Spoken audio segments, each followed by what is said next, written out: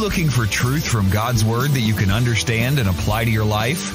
You'll find it today on Make It Clear with Dr. Stan Ponz. Listen now as Stan makes it clear.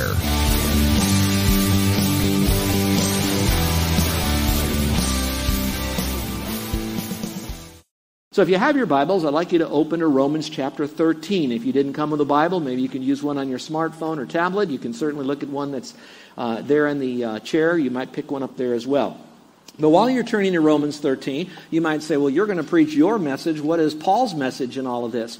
Well, I think it's a very apropos message because it's coming in a portion of Scripture where Paul wrote this very long Magna Carta of the Christian faith to a group of believers, a church in Rome, not the Catholic Church in Rome, but the New Testament, New Believer Church that began hundreds of years before the Catholic Church got launched. So, that being the case, he then wrote them this letter. The first 11 chapters, he said, you need to get right with the Lord Jesus Christ regarding your salvation, your security in Christ, and your sanctification, which means being separated and live unto the Lord. And then in chapter 12, he says, Therefore, now that you're in Christ, he now says, consecrate your life to the Lord. So have a right relationship with God Almighty, not just Christ, but see the Trinity in all of this. Then he says, Now, if you have a right relationship with the Lord and God, then what you do? Have a right relationship with the church. So then he taught about learning your spiritual gift and then using that special ability that he's given to you to help build up other people for the glory of God and grow his church. But he said also, you have to have a right relationship with other people in general, whether they're part of your church or not. And then he threw in that little nasty word, enemies, that all of us are going to have people that'll press up against us that won't see life or the Word of God or the way we believe Christianity ought to be. And they'll come against us for some reason. They're our enemies. He talked about how to have a right relationship with them. And then remember, he's writing to new believers in a particular governmental system in Rome and now he taught those Christians on how to have a right relationship with government. And that was a wonderful study we've had. Well, now he pauses and he says, All right, now that I've got that to you, now I want to talk about how to have a right relationship, frankly, with yourself. Now, that's where we're going. Make the rest of my life the best of my life by having a right relationship with the way I personally do things. But we have to look at it from a season. And if you will, for just a moment, I'm going to kind of go in the middle of my notes and just show you one little verse so you know where we're going, how that this is kind of hanging on this bedrock principle. So look at Romans chapter uh, 13 again, but I want you to drop down. We're going to go through 8 through verse 14, but I want you to look at verse 11. He says this Knowing this, or do this, knowing the time, that it is already the hour for you to awaken from sleep, for now salvation is nearer to us than we believe. So he's basically saying, you've trusted Christ as Savior, and you might have done that a few years ago. That means you're closer to being glorified. You're closer to being in heaven than you were before, because every day you're closer to going to heaven. We like to say we're not um, looking for the undertaker, we're looking for the upper taker who's going to take us up to heaven here, and that's going to be closer and closer. So as you look to the future now, what are you going to do differently? Now pause them for a moment. You know what your next season in life is going to be. Not all what it's going to be, but you know it's going to be different. What are you willing to partner with God on and allow the Lord to bring out from within you the things so that you can have a better life as you go into this new season? He's given you a spiritual golden opportunity to make things different. When Carol and I had our boys living in our home, there were some benchmarks in our life that we would make some major changes. It often occurred at the end of summer, but before school would start. And then we would then start school new with some new things going on in our house new disciplines, new habits, new directions, new decisions. And we would begin to fill our calendar with the things that would help our boys to grow up to become fully devoted followers of Christ. So we use seasons to look forward to. Because we knew, as all of you do know, that kids don't last very long in our house, do they? Pretty soon they just have a habit of growing up and going on, you know? Well, that being the case, we wanted to take advantage of every opportunity that we had. Now, with all of that in mind, I really believe you can engage on these six areas that might really help you, again, to have the rest of your life the best of your life. So let's look at number one. The first one would be to pay up. To really pay up. And let's see what that says in Scripture. Back to Romans 13. Just look at the first part of it. It says, Owe nothing to anyone. And then we'll get to the rest of the verse in a moment. But it says, Owe nothing to anyone. Well, that doesn't necessarily mean that you have to be totally out of debt. But it does mean that you're not behind on your bill paying. You're not behind on the obligations that you have. So, in a sense, you really don't owe them because you've made an agreement to pay at a certain time, a certain amount, and you're not dilatory in any of that. You're right on schedule. Now, if you want, I think it might still be wise to keep going in the direction of becoming debt free. You all will agree it doesn't take much to understand that even though we might have some debt, it's still ultimately better to be debt free to get out of debt. So maybe for the rest of your life, you know it's coming up and you want to have the best of your life. It might be good for you to make some of the hard decisions and how you're going to use your money. There's three things you might want to keep in mind, and that is how do you get money? In other words, if you want to owe nothing to anyone and you want to march toward debt free, you want to ask yourself, how do I really get my money? How do I get it? It's through hard work, it's through diligent spending, it's through proper prayer, and maybe some ways God will miraculously give you that. So I promise you that God will provide for you as a Christian if you seek first the kingdom of God. So how do you become debt free and owe no man nothing? And that is look to the ways that you receive your money and thank God for every one of those and take advantage of for every opportunity He gives for you to continue to bring in through multiple streams of income more money. But that's just part of it. The other part of it is once you get that money, you can easily get rid of it, but you don't want to do that. What you want to do then is you want to guard that money. If you remember a long time ago, I gave a message and I used a bucket up here. A lot of money is going like water into the top of that bucket, and some of you have it coming in from various sources, various multiple streams of income. But at the same time, we want to make sure we have no holes in the bottom of the bucket. And some of us have a lot of holes. Some of us have big holes. And so no matter how much comes in, we're always wanting more money. But the real problem is we're not sealing the holes in the bottom of our bucket. So maybe it would be a good time as you face a new season in your life to go over a budget. I think it would be wise for you to know how the money is coming in, what you need to spend it for, how is it going out, so that you're properly guarding that money that you have, so the rest of your life can be the best of your life, so you're not wringing your hands over being tremendously in debt and getting behind. And of course, all of us would agree we have no control over this economy. So getting it is good, guarding it is good, but God says there's one other thing. So that your heart is filled with the fullness of God and joy, you need then to give your money. And to give it means how do I release it? Now, part of it is will be how do you spend your money? To spend wisely. Spend it so the kingdom of God is going forward. Spending it on the basic needs of life. Investing in that which will add value to others. But it also means furthering the work of God through giving, through church, and other means. Now, when you do that, what happens? Watch this now. You got the getting, you got the guarding, and then you got the giving. Well, if you want to give more, You've got to guard it to be able to give it. And once you start giving it, once you've guarded it, because now you can give it, God will even bring more into you so you'll get more. So the cycle actually gets better and it'll help you not to owe anyone. It's interesting because if you really want to dig deeper into that verse, let me give you this thought. In the Greek, it means something a little bit more than that. It means something that has really helped me. It says, stop continually owing. I like that thought. Stop continually owing. So if you are and you're paying your bills on time, that's great, but really watch out so you don't keep adding more and more and more into debt. And the only way you can pay it off is by working longer and longer hours, and then more and more of your family has to work, and all of a sudden you have more trouble. So try to move in the direction of getting out of debt. Here's an Old Testament reference that really speaks to that. Very strongly it does. You know how the Old Testament Proverbs do? They kind of really slap you side of the head. It says, The wicked borrows and does not pay back but the righteous is gracious and gives. I don't really want to leave the impression that borrowing makes you wicked.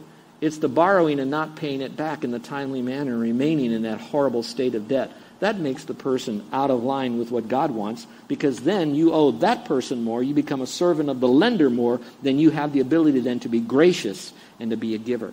So, number one would be if you want to have a great rest of your life, begin to rethink how you get your money, how you guard your money, how you give your money so that you can become more and more debt free. And that'll help you have a good end of life to do some really great things, things that God will be calling you to do perhaps.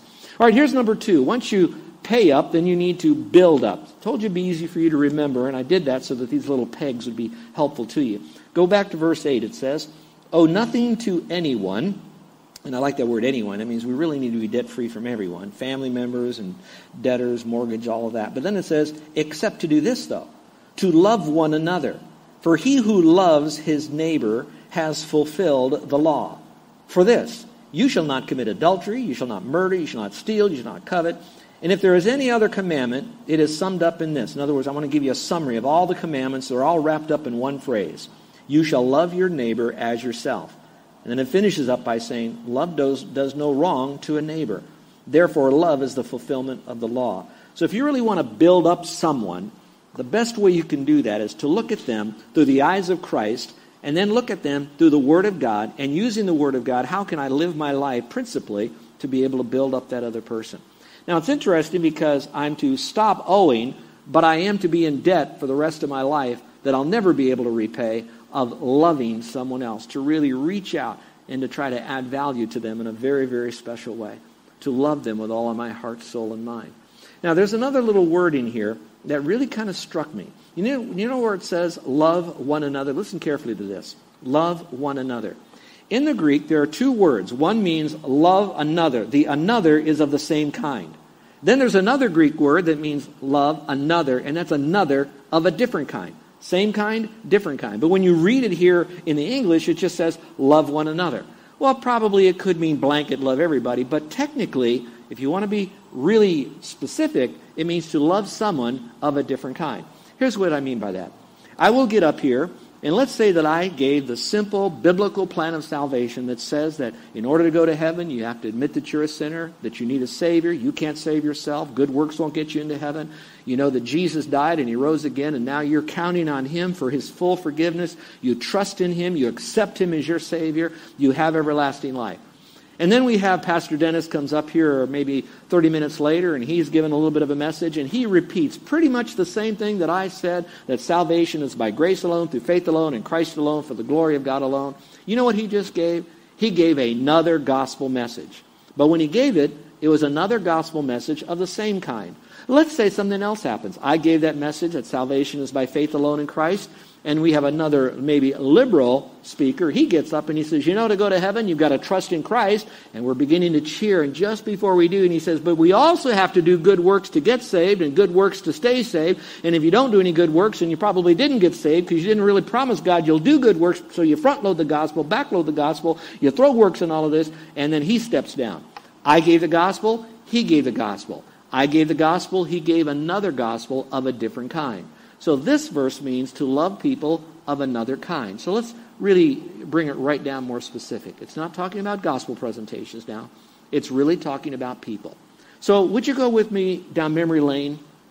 Maybe go through your little directory that you have in your phone. Maybe if you have something there in your home, a little sheet that has a directory of people that you know, family members and friends and neighbors and co-workers and church people. And as you go down through that litany of people, are there some irregular people in your life? People that are sandpaper people in your life, people that you just don't really want to be around, this verse would say to love people that are of a different kind than yourself. So now let's not be quite as specific. Listen to my list that I made for me. Because I, I want our church to grow. I'd love to have our church to be huge because if we're a bigger rock, we'll make a bigger splash and more people will be reached globally. I, I get all of that. But I'm not driven by church growth. I'm driven really by church health.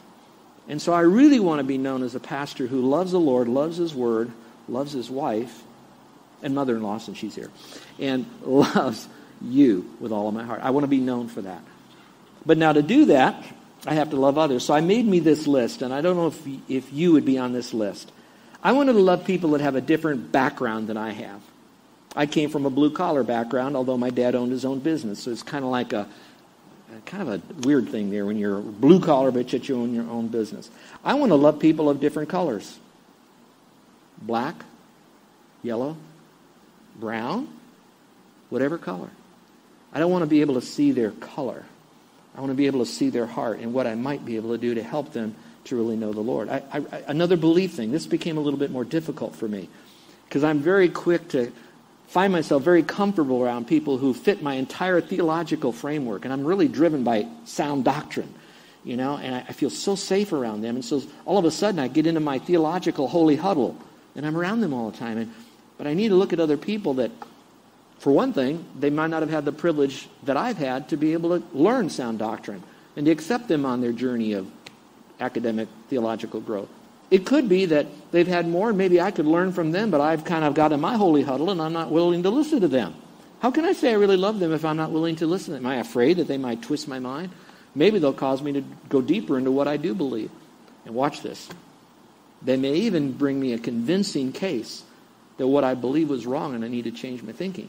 But if I never loved them enough to be able to listen at times, I could be in the deep weeds. So, of other beliefs. And now we can move into other faiths. I added one. Sometimes I find it easier to love people of certain ages. You, know what I mean? There are some people that have such a hard time with children. They're nothing but ankle biters and rugrats, you know, and so they just don't want to be around little children. And I'm wondering how much they've been cheated out of what God has given us if I don't love little children. And, and sometimes I, I, I will only listen to or respect people that have been down the road of life longer than I have, that have really proven themselves to be great. I, I don't want to do that. I want to be able to love people at every age that they have, just in case that God might have given them something, a jewel that I might be able to gain. And the purpose of me gaining from whatever ages and stages of their life, whatever their colors are, whatever their beliefs are, the whole thing is I want to make sure that I don't miss out on one bit of blessing truth that God wants me to have, not so that I have more tools in my toolbox. It's so that whatever I might have that will make me a better servant of the Lord to be able to take and do more for the glory of God. So if I really say I want to have the rest of my life, the best of my life, then I need to really make sure I don't compartmentalize everybody down to that I can only have fellowship with someone if I was in a phone booth with them because that's the only amount of people that can fit into my little box. And I hope that would be the same with you. So we really want to build up one another and to be a part of that. And it says here, owe no man anything or nothing except just love. And I, I, would love for our church to always be known as a church that loves and how important that is. Well, let's go to number three. Paul says to pay up. He says to build up. Now he says to wake up. And I, I alluded to this verse uh, pretty close to the beginning of my sermon, but let's go back to it again, all right? We want to wake up. As you go back to the verse, it says, Owe no man anything except to love one another, for he who loves his neighbor has fulfilled the law. For this you shall not commit adultery, murder, steal, covet. And if there's any other, it's summed up in this you shall love your neighbor as yourself. Love does no wrong to a neighbor. Therefore, love is the fulfillment of the law. Then he says, Do this, knowing the time now, it doesn't mean on my clock or my watch, okay? The time means the age, the stage, the season of where we live now. That it is already the hour for you to awaken from sleep. For now, that means right now, salvation is nearer to us than when we believe. So let me ask a question. Are you ready for this? You don't have to stand up, you don't have to say anything out loud, but you can wiggle your hand if you'd like. How many of you have trusted Christ as your personal Savior in the last two years? Okay, got a couple up here. How many trusted Christ in the last five years? Would you raise your hand? Okay, how many trusted Christ in the last 10 years? Would you raise your hand? How many trusted Christ in the last 30 years? Trusted your Christ? Raise your hand. How many trusted Christ in the last 50 years? How many over 50 years ago would you raise your hand? All right. That means that you are closer to heaven than the time you believe. So the distance to heaven for you probably is a lot closer than when you trusted Christ as your Savior. Now, why am I saying that? This is basically saying when it talks about wake up out of sleep, it's really talking about s- spiritual lethargy or spiritual laziness or spiritual deadness. Now, I pondered about that. Now, why would Paul say this at this particular time? Do this. Wake up out of that because your salvation is closer than it was then. I thought, why did he say that to these Romans? Now, here's what I think. I had to take it back to a timeline. When he was writing to this, this church at Rome wasn't celebrating their 50th Jubilee. This church at Rome was only a few decades old at the very, very most. That's how young this church at Rome was. And now he's telling this church at Rome, you need to wake up, which now tells me that probably every New Testament church and every Bible believing and teaching church, even today, and maybe even, I love you, I love you, even us, we could have spiritual laziness today going on. And he says to wake up out of that.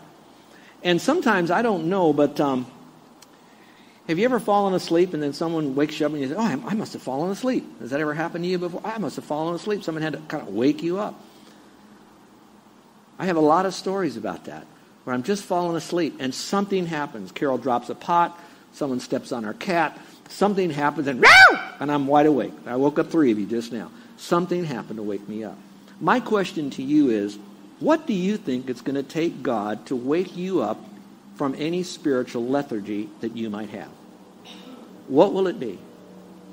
Some people would say, when God did this, when God took this away, when God had me lose that. Or sometimes people might say, I was kind of lazy, but all of a sudden God really blessed me and I realized I didn't deserve that. How, what a great God I have. And that woke him up. My question, to, though, to you is this What is going to wake you up from any spiritual lethargy?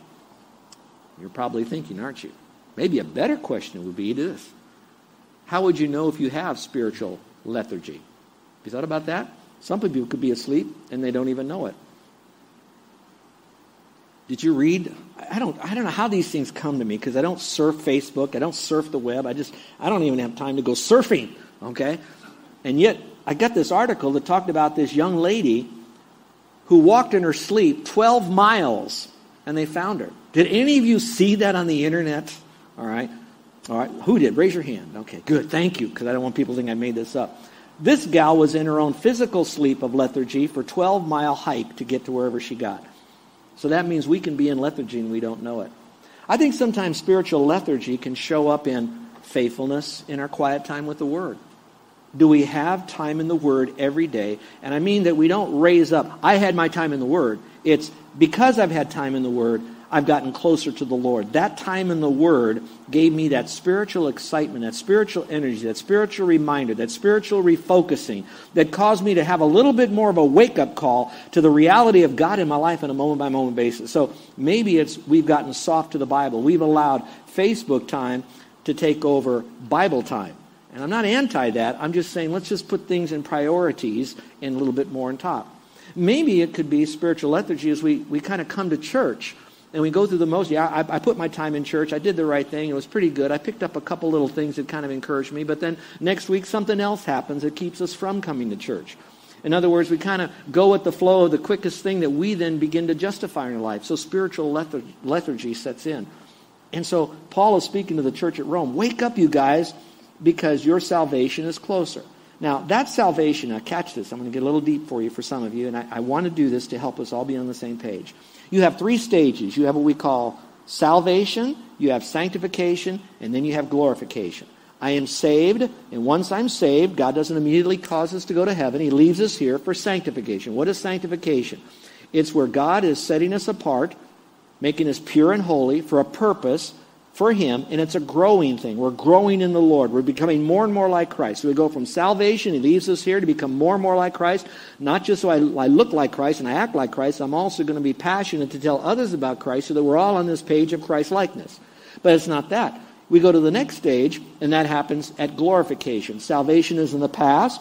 Sanctification is happening right now. I pray this message is sanctifying all of us, growing us to become more like Him, and waking up, building up, and uh, paying up. But then it's because glorification is going to come in the future. And that's what it's saying. Our salvation, our glorification is coming so much sooner at any moment. Now, how could that be? Well, there's two ways that that could happen. Number one is the one that we don't, don't often like to think about. That salvation can come to us, our eternal salvation, a moment when we're in heaven, the moment that we die. The moment your heart stops beating and they cannot bring you life again and you're a Christian, you are in heaven right then. Your salvation is basically completed because you're in heaven. The second time that people don't often remember is this. Jesus Christ said that he could come back at any moment. In a twinkling of an eye, he could come. Now, he won't come to the earth, but he'll snatch us all up. So at any moment, the Lord could come back and wake us up at that moment, take us up at that time. And so I'd like to be really ready. I had a Bible teacher say this to me one time, and it convicted me so badly. And uh, it stayed with me enough all these years to be able to share it with you, and here it is if Jesus was to come for you, where will he find you? And what will he find you doing when he comes for you? Would you be happy for him to come for you and find you doing what you should be doing or doing what you shouldn't be doing? And so I got thinking about that.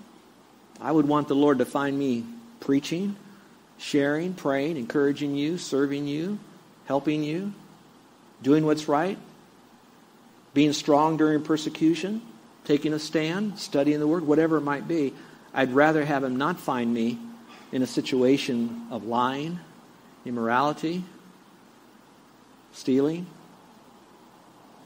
a state of spiritual lethargy. I hope that wouldn't be the case. So we need to wake up. But that's not all. We got a couple more to go through, and so let's look at those. He also says to gear up, and I like this because it really speaks to us here. Listening to Make It Clear with the teaching of Dr. Stan Ponz, founder of Make It Clear Ministries. Make It Clear is dedicated to taking the Word of God with clarity into every person's world. It is the support of listeners like you who make the ministry of Make It Clear possible. You can provide your tax deductible gift to Make It Clear online by going to makeitclear.org. Or you can mail your gift to Make It Clear. P.O. Box 607901, Orlando, Florida 32860. Thank you for helping us make it clear. If you would like to have Dr. Ponz speak at your church or event, please send us an email at tellmemore at makeitclear.org. Thank you, and remember to make it clear.